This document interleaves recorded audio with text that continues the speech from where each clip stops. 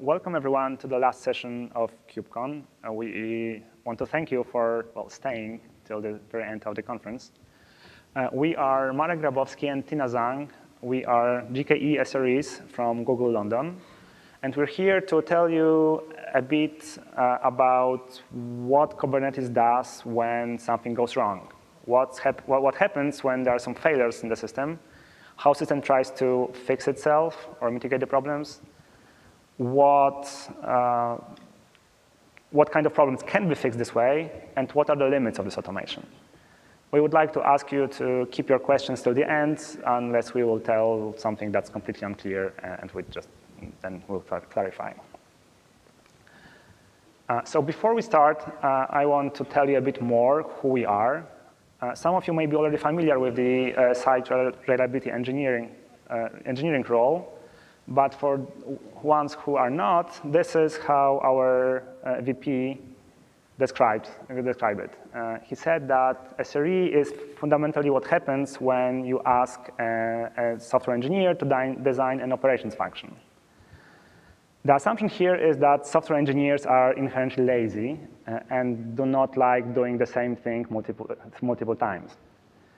The result uh, is supposed to be that the SREs are there to just solve the problem when they occur, but then make sure that they never occur again. Or if they do, uh, doesn't, do not require human action.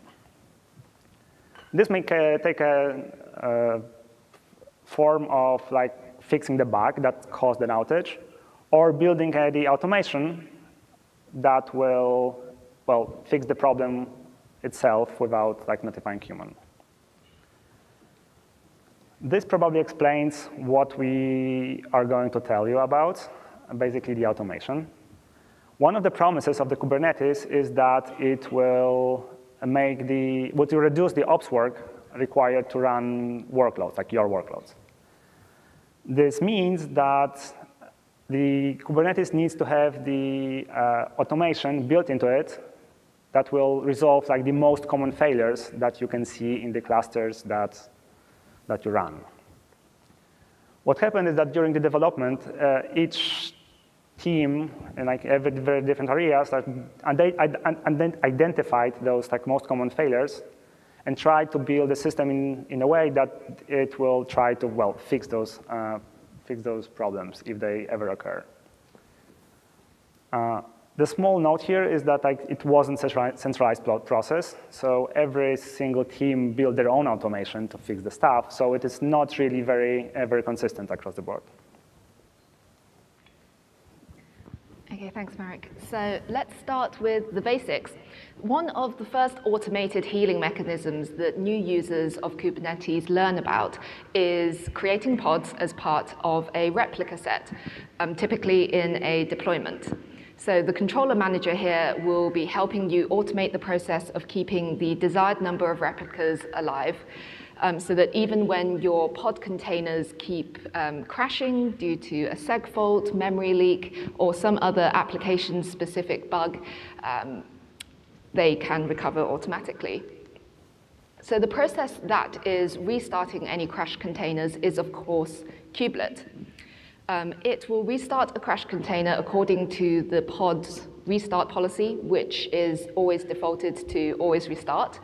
Um, kubelet also contains logic to restart pods on an exponential backoff delay. Hence, when you describe pods using kube control, the name of the pod status is called crash loop backoff. So how is it doing this? Kubelet is doing this by interacting with Docker um, in order to fulfill its responsibility of actuating the desired pod spec on the node.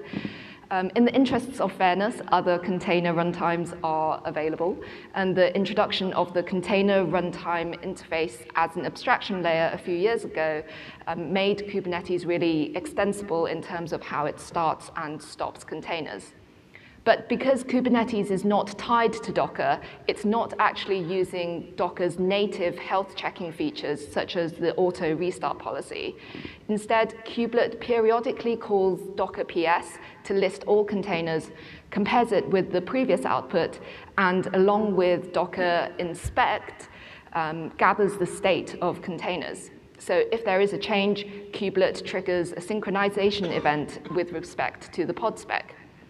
Some operating systems, such as the container-optimized operating system on GKE, also use systemd to run health checks on both kubelet and Docker every minute by using the kubelet's um, healthz endpoint and calling Docker PS.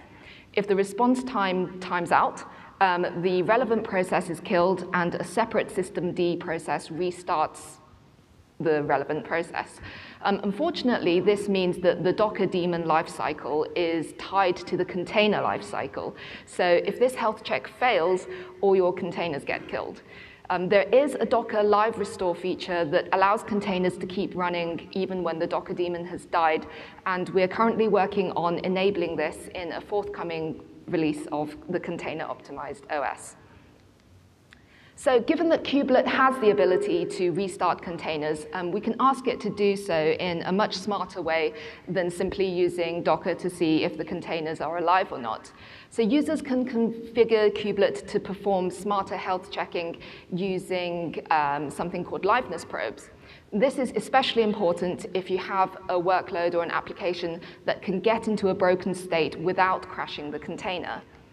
So maybe just as a show of hands, how many people have heard of liveness probes? Okay, great. So I'll go through the slide really quickly. Um, there are three types of liveness probes. Um, actually, how many people are using liveness probes in prod? Okay, that's good to see. Well, it could be, it could be higher, I think. Um, how many people are using liveness commands? Okay, so, so a few. I'd be really, really interested to hear kind of all of the use cases afterwards if you can, if you can stick around. Um, how about HTTP requests? And TCP socket probes? Okay, so I think the HTTP um, requests are uh, slightly more popular, I guess. As computer programmers, it's um, a paradigm that we're more used to. Um, as with any code, a bug in the liveness configuration can be extremely problematic um, as it can lead to uh, crash looping pods. Um, but hopefully this is something that's easy to spot and ideally your liveness config should be as simple as possible. And I guess with HTTP and TCP probes, if something does go wrong, um, you will also have to debug um, at the networking layer too. So just briefly, here are some example configurations from the official documentation, and this is what you would insert into the pod spec. So for people perhaps less familiar with um, HTTP probes, um, you can set custom headers. Um, you can also tweak the timing of um, how long kubelet should wait before performing the first probe and how frequently probes should occur. Um, you can also customize the number of failures that would count, um, that kubelet should count before seeing a pod restart. Um, there's also such a thing as readiness probes, which is very similar, and they define health checks that must be passed um, before traffic is sent to pods. And just quickly, an example of when liveness probes can go wrong. Um, it can go wrong when you have a container that takes a long time to start up and your initial delay seconds is set too short. This is something we actually experienced in production on GKE hosted masters. Um, we found that for some very large clusters or running very large workloads, we'd find that the etcd container on the master would crash loop um, after a restart what's happening there is that etcd is replaying its write-ahead log after a restart. But for a cluster with a large workload and long log entries, this was taking much longer than the default 15 initial delay seconds. And so um, when we get paged for it, the simple solution was simply allowing etcd more time to initialize um, by increasing the initial delay seconds in the config. Thank you. Uh, so Tina told us what happened, what, how Kubernetes tried to solve the issues when there's some problem with the binary itself. It basically tries to restart it, like if the uh, liveness probe or readiness probe, like liveness process is, is failing. But that's not the only reason why the service might be broken, right? Like it's, the binary itself might be perfectly fine and correctly written, but the service still might not be responsive. The reason might be that the pod, the binary itself, lives, uh, lives in an unhealthy environment. They, it might have some noisy neighbor that just consumes all the resources of the machine and does not leave enough for uh, for the pod that's supposed to be serving. Well, uh, in principle, containers should be good, like actually do offer rather good uh, isolation on many resource uh, dimensions. But we are usually, usually not using it like very strictly. We try to like relax this isolation a bit. Uh, the reason is if we allow some uh, uh, some, we, we allow containers to share some pool of resources, the, we can achieve much higher utilizations in the cluster. Right? Like if the few, not, few pods they can just like burst if they need, we can pack more, more of them in the, in the, on the single node than if we just like uh, limit all of them strictly to like the highest possible utilization. Uh, hence, we have the quality of service concept uh, in, in, the Kubernetes. But back to the noisy neighbor. Uh, the way the Kubernetes shows, like tells the user that there is something wrong with the node, uh, it's through node conditions currently. The, the two of them that are connected to the noisy neighbor problem are disk pressure and memory pressure. They, well, they of course mean that like, the node is running uh, low on disk or memory. Uh, some of you may ask why not CPU. Well, the CPU, like running out of CPU is bad, but it's not terrible. Like things will run slower, but they will not be killed. Nothing will be killed if the, if the uh, node is running out of CPU, unless like it's very like really start on CPU and uh, and watchdogs will start killing things. So luckily, this the, this is a problem that like computer science like is already solved. Like in the even on the single master, single single, single uh, machines, like the even single machines can run out of memory, and kernel knows how to handle that. Basically, it kills stuff. So maybe we would be, it would be okay to just leave it to kernel to just kill something on the machine and make sure that it's stable. Sadly, that's not a right choice because kernel doesn't have any idea about like which processes are important for Kubernetes stability and which are not. Uh, so for example, if the OOM killer will do the killing, like it can kill like kubelet or Docker or SSHD like, or anything, uh, which would basically destabilize the whole cluster, or at least the node. The better way to do it is to allow kubelet to do the killing because like it's no, it knows what can be killed safely. Hence, it can be like more logical, not completely random when, when killing things. So kubelet will be killing pods because that's the thing it, it, it oversees. But not all the pods can be killed safely, right? Like you probably don't want to kill kubeproxy because if you do, you, your services will stop working, right? Like nothing will update the IP tables. Uh, which may, uh, because of that, we made the kubeproxy special in, uh, in the default uh, configuration. By special, I mean it is, it, possesses, it has two uh, properties in the same time. It has a critical pod annotation. This is an annotation you may know of. It basically says the system that this is very critical thing that needs to run, and it is allowed to kill other things uh, to make a space for itself. And it's also a static pod, which means it runs from the manifest stored on the machine, on the node itself, instead of reading it from the API server. So if any pod has those two properties, it is safe from evictions done, uh, done by kubelets. All other pods can be killed. And by all other, I really mean all other, like stateful sets, it's fine. Kill the stateful set. No, it doesn't matter uh, too much if it does. Uh, or it will also ignore pod disruption budget. If you have like, if you run out of pod disruption budget, uh, the kubelet will ignore this and kill the pod despite that. Uh, but it's not that it will kill anything it tries to respect quality of service classes. So it will start by killing the best effort pods first. If it runs out of them, it will, and it will kill burstable pods, and only after they're gone, kill the guaranteed ones. So now you may understand why we need to ignore uh, pod disruption budgets. If we didn't, it, was, it would be possible to game the system by saying like really low pod disruption budget for the pod in a best effort class, and this way force the kubelet to kill the pods from the higher, higher QoSs, which we want to, uh, want to avoid. Uh, of course, like killing, as in, uh, as in the case of the UM killer, is rather random. So it, the kubelet might fail to kill the noisy neighbor. It may kill some pod, which was perfectly uh, calm and, and, and normal pod, instead of the one that, that, that causes harm. Uh, but then the issue will reoccur, and kubelet will try again, and eventually, hopefully, it will kill the one that, that, that causes problem. Okay, but even if all of the neighbors of your pod are nice and friendly and don't try to use up extra resources, your pod might still be experiencing some problems. And even if you have liveness probes configured correctly, it doesn't matter if there's something wrong at the machine level. So to make problems at the level of the node more visible, we have a Kubernetes add-on called Node Problem Detector.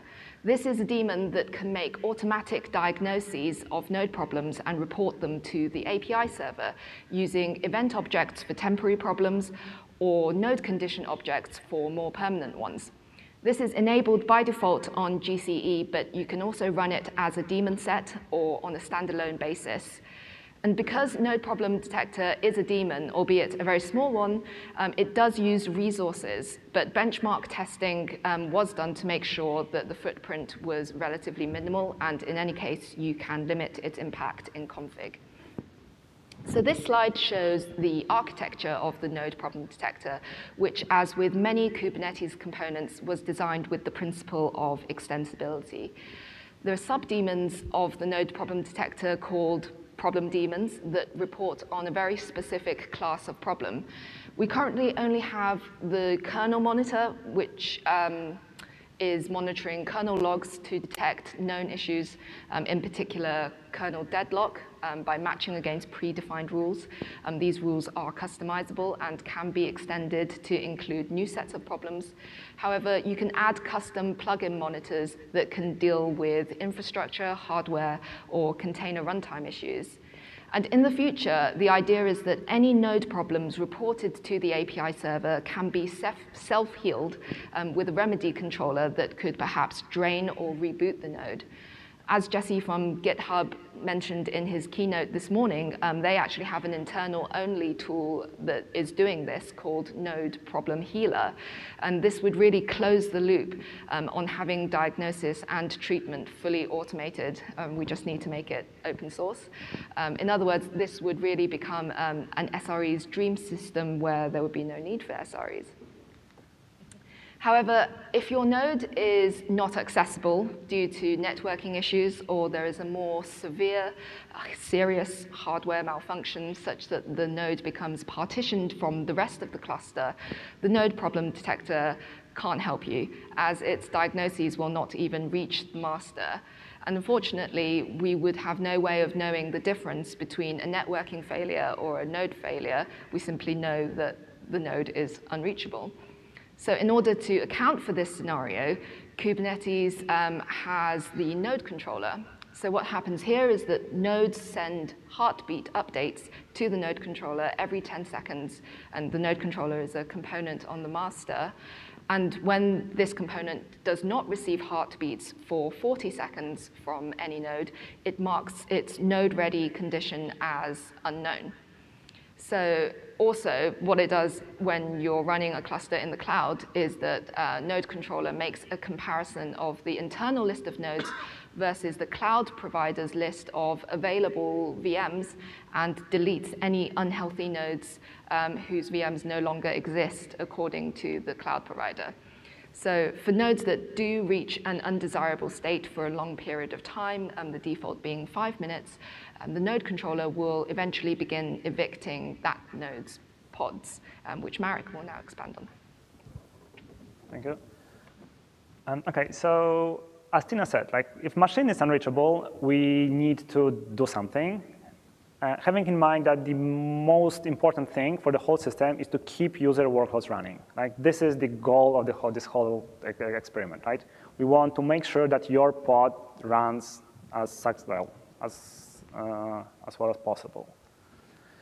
So like if the machine is unre uh, unresponsive or, we, or actually it reports itself as unhealthy, we need to move pods from this machine somewhere else. Well, in Kubernetes world, uh, world, we basically just kill the pods from this machine and allow the replica set controller or any other controller to just create replacement pods, which then again will be scheduled by the scheduler on some healthy ones. Uh, there's one detail here. Uh, daemons are not evicted, which might get uh, be confusing from time to time. This is because like, like even if we evict daemons, they won't go anywhere. They are like assigned to this node, right? Like so, this is how daemons work. They are attached to a node and can't be scheduled anywhere else. Uh, so that's the simple behavior in case of like a small scale uh, problems. But what happens if a large number of nodes is unhealthy? Can we do exactly the same thing? Well, we kind of can, right? Like we can evacuate all the unhealthy nodes and try to put the pods that um, well, are pending for the, for the time being on the healthy ones, but it may turn out that there's not enough space for everyone, right? Uh, this of course, might be the desired behavior, like if the pods are really unhealthy, right? Like we want to put this workload somewhere.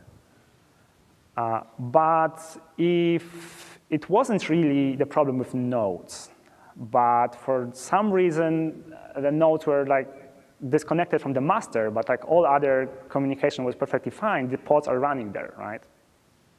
They're still running. Uh, this is not a huge deal because uh, until the nodes will hear from the master, they won't kill the pods because like, they don't know they should.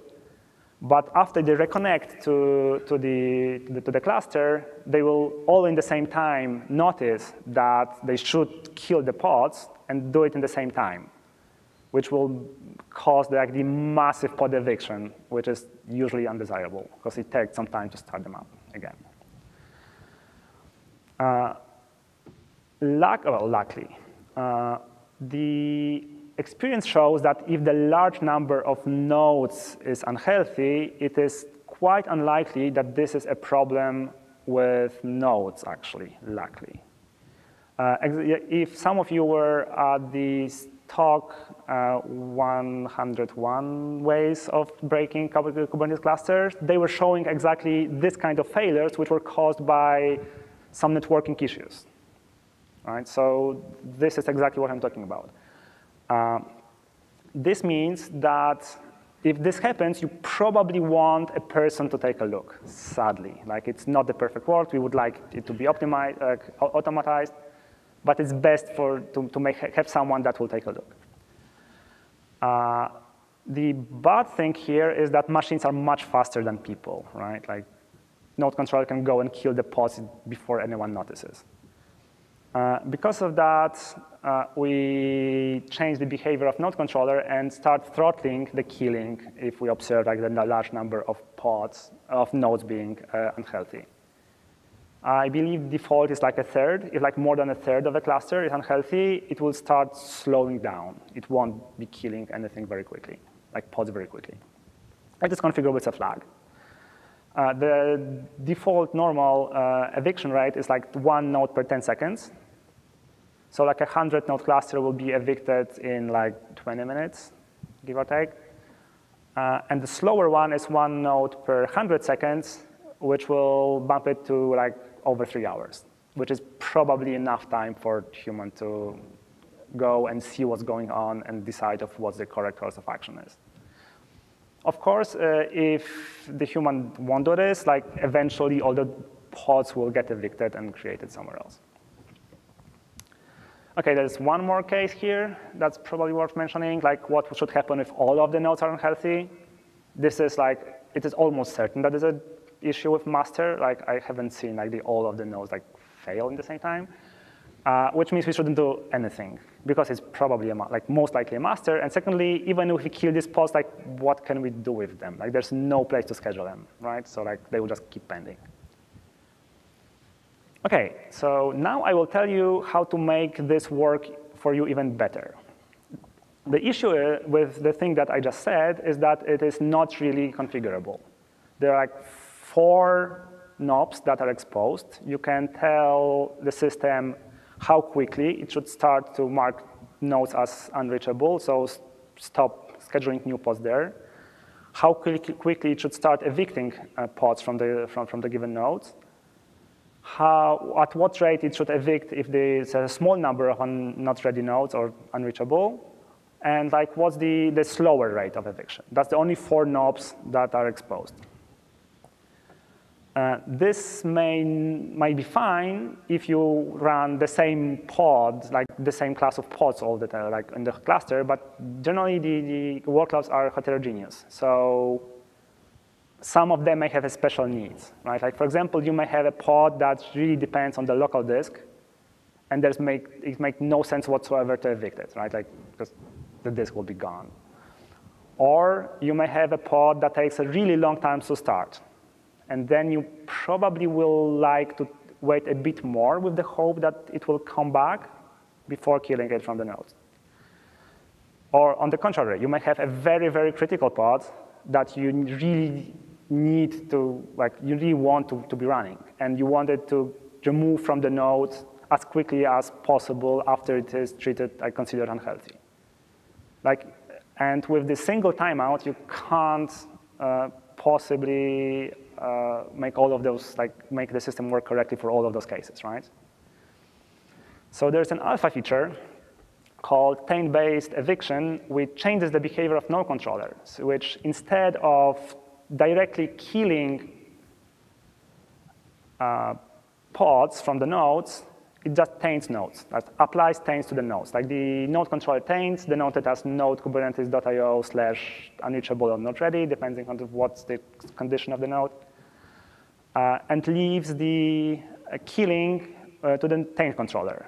Exactly the same taint controller that does it when you apply, when you do kubectl taint.